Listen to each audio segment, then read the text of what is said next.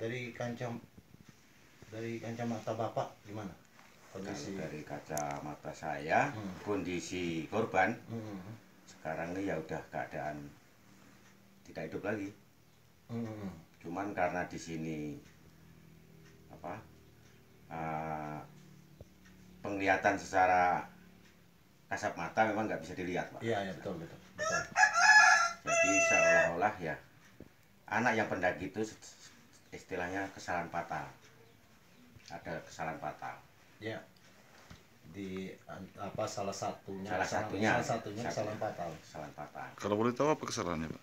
Nah, kalau saya ceritakan terus terang aja saya nggak bisa. betul ya tapi kalau kalau misalnya seperti mereka yang ma- eh, jatuh ke kawah pak ya Bukan. bukan Ma. kalau misalnya korban jatuh ke kawah Ah, itu iya. kan dua hari dia ditimbulkan Ya, nah ini eh, kira-kira bisa nggak kita eh, menimbulkan beliau? Insya Allah untuk hari ini bisa.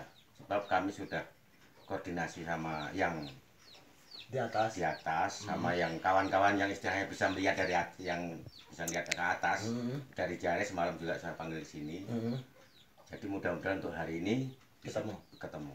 Mudah-mudahan kita semua berdoa supaya pencarian yang di atas itu cepat ketemu ya dalam- eh, kalau kita boleh tahu pak di dia ditemukan nanti di kawasan mana? Masih di dekat pelataran di dekat pelataran iya. Eh, kalau tidak salah di dekat batu gajah nah, tersebut. jadi kalau saya melihat dari pengalaman saya pak ya. Hmm, jadi dia itu kan ada hutan larangan. Ya, hutan ada, larangan. ada perbatasan antara boleh untuk camping sama nggak boleh untuk camping. Betul, betul. nah itu masuk di hutan hutan larangan. larangan.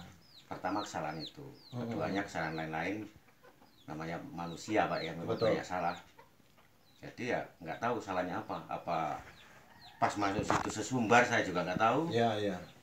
Ya di kacamata Bapak ya, di kacamata Bapak mereka ini berdua nanti ditemukan berdua berdekatan atau pisah? berdekatan masih Masih berdekatan. berdekatan Enggak pisah-pisah. nggak bisa Tapi kondisinya udah nggak kondisinya punya nyawa semua. ya udah inilah kalau kita bilang udah mayit Hmm.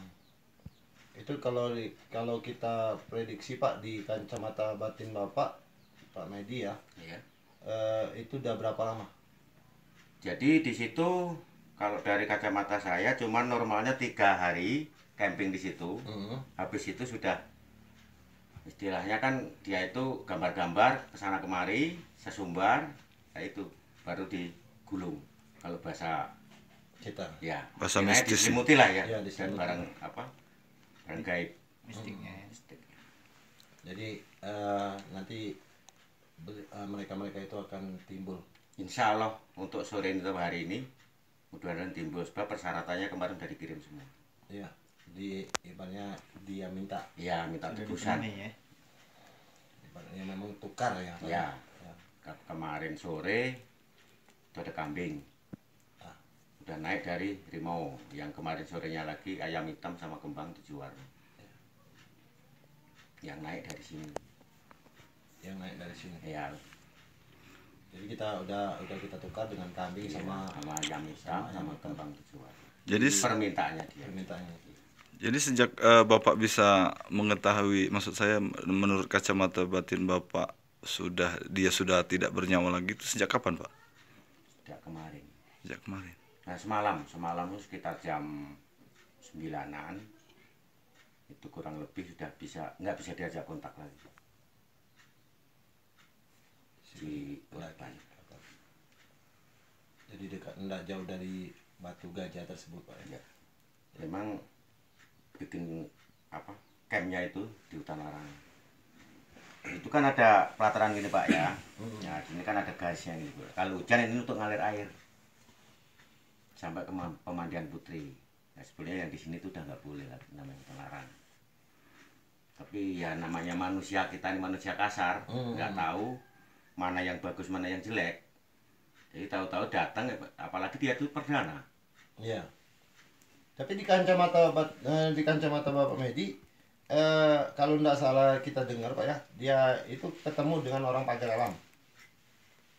Ceritanya, Ya, ceritanya. sebelumnya Sebelumnya. Nah, sebelumnya tuh udah ketemu sama orang pagar alam cuman orang pagar alam itu menengok ke camp ke Iya. tenda itu udah nggak ada apa-apa lagi hari pertama hari kedua hari pertama eh, itu udah lihat dari yang dari tiga hari pak ya Hmm. kalau untuk tiga hari itu masih normal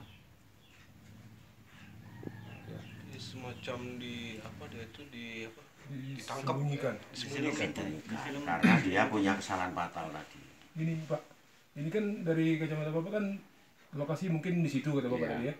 Eh, bisa langsung ke bagian ini nggak? Eh, apa tim SAR untuk kasih tahu insya Allah bisa langsung fokus ke situ iya ya. pokoknya semalam tuh udah saya kerjasama yang lihat dari jari juga Oh. udah harus titik awal itu Langsung ke situ bisa langsung kan. bisa titik awal titik pencarian itu Ya, insya Allah dengan izin Allah Pak Ya. eh, dari kacamata Pak Medi dan juga kita rekan-rekan yang lain iya eh, itu malam hari atau sore hari ini lah pokoknya insya Allah kemarin tuh untuk hari ini harus Iya. dibuka insya Allah terbuka iya jamnya saya nggak bisa nentukan Iya. Kalau jamnya kita nggak bisa menentukan atau malam atau sore tapi ya insya Allah. Ya, mudah-mudahan Allah merestui Iya. Pak ya sambil kita berdoa bersama-sama betul betul kasihan yang korban ibu orang tua korban juga udah lama keluarga ya keluarga yang di sini Ini hal ini sebelum disampaikan dengan keluarga, pihak keluarga ada yang nanya-nanya dengan Bapak. justru warga sini tuh malah nggak tahu pak Ini ya pihak keluarga ini dari Korban. nih, ada Iya. yang nanya sama Bapak? Hal-hal seperti ini. iya udah Jadi Bapak jawab seperti ini juga. iya udah berapa kali tadi juga dari sini Eh, tanggapan mereka gimana? Anggap mereka ya harus tabah Hmm. terima Terima lapang ya. dada semua anu kan Iya. yang di atas yang ngatur betul Artinya mereka sudah tahu Sudah tahu, sama ya. Bapak. Iya. dia siapa tahan pak ya Iya. masalahnya udah 12 hari ini Iya. udah udah 12 hari 12 hari 12 hari ini sebelum pencarian artinya. iya jadi dia naik itu selasa minggu kemarin lah taunya masyarakat sini Hmm. ibu korban tuh datang hari malam Senin Iya. Senin kemarin ini Iya, oh. Baru tahu. baru tahu kalau itu Iya. ada korban sudah satu minggu udah satu minggu jadi seolah-olah ya kalau bahasa kami terlambat Iya. iya betul pencarian informasinya bahkan ke- kesalahan juga enggak lewat sini nggak malah. langsung lewat sana Hmm. kalau lewat sini pak ya akan naik. Terdaftar di Iya, sini. betul betul. Mau camping berapa hari kita cek. Orang berapa? Orang berapa berapa hari logistiknya cukup apa enggak peralatannya. Terus kondisi ya keadaannya. kondisi keadaannya. Kalau memang kondisi keadaannya kurang sehat kan kita tahan dulu. Hmm. itu biasanya begitu. Jadi di sini kalau naik kami camping dua hari di atas. Nah kalau sama perjalanan paling enggak kan empat hari lima hari. Ya betul. Itu kalau nggak ada informasi turun kan kita kontak nyari. Kalau lewat sini cuma karena lewatnya di Rimau kami nggak tahu hari apa jam berapa Ya, naik kita nggak tahu apa-apa. Iya. Ini Pak, kalau balik-balik ke orangnya yang dua orang ini, Pak, memang tipikal seperti apa sih, Pak? orangnya? Iya. orangnya ya Yang kalau saya bilang sih sombong atau orang bigal sombong. Gitu ya, dua-duanya atau salah satu. iya istilahnya di atas itu Oh, mungkin mereka ini sudah sering mendaki-daki. hari gitu, Pak, ya? bersama eh, Iya. untuk gunung lain-lain Iya, ya iya, cuman karena kita ini kan orang awam gunung namanya gunung Iya, Tiumpu tuh kan harus digini Iya. ya Won itu kayak sakrar betul biarpun kita orang asli sini. asli sini wi, kalau asli sini kan kita udah minum airnya Hmm, gitu. jadi kalau luar dari lahat ke sana itu kalau bawa apa-apa orang laki itu harus dilepas dulu betul Hmm. Mereka tuh semacam bawa jimat ya? Nah. Jadi kalau orang perempuan atau yang cewek-cewek masuk kotor kot- kotoran itu nggak boleh juga. Iya. Kejadian tahun 2000 berapa itu? 16 itu sampai semalam semalam 11 orang yang sakit dari atas. Karena selain capek juga cuaca dingin banyak yang kotor. Hmm.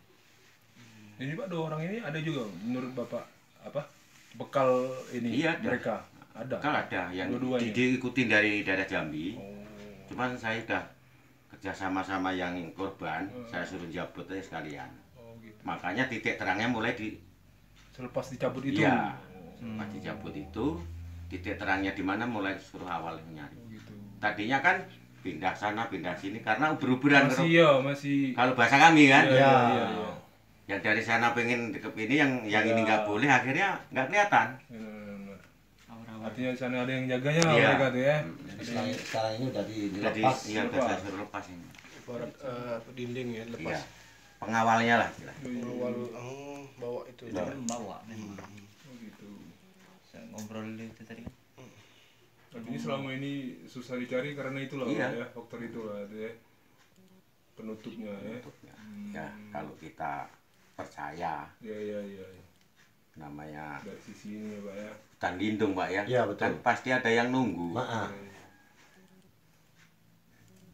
Ada hal yang mungkin gimana yang dilakukannya Pak ya. ya kita kan nggak tahu Ya, apa dia kencing sembarangan juga kita nggak tahu buang hajat juga di mana kita nggak tahu Ya, dia datang sampai enggak nggak azan asal ya, apa nggak assalamualaikum Enggak, kita ya nggak Assalamualaikum ya.